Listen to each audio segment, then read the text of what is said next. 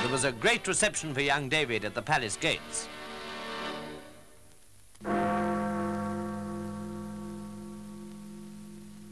We remember our dead. Though another war loom with its prospect of doom, we remember our dead. We remember our dead, though peace hangs by a thread, and the world is a tomb where we live in the dread of the death overhead.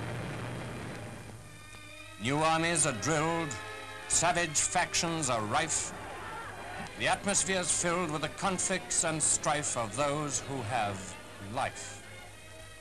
Then, one moment, they cease. And as voices are stilled, we remember the killed.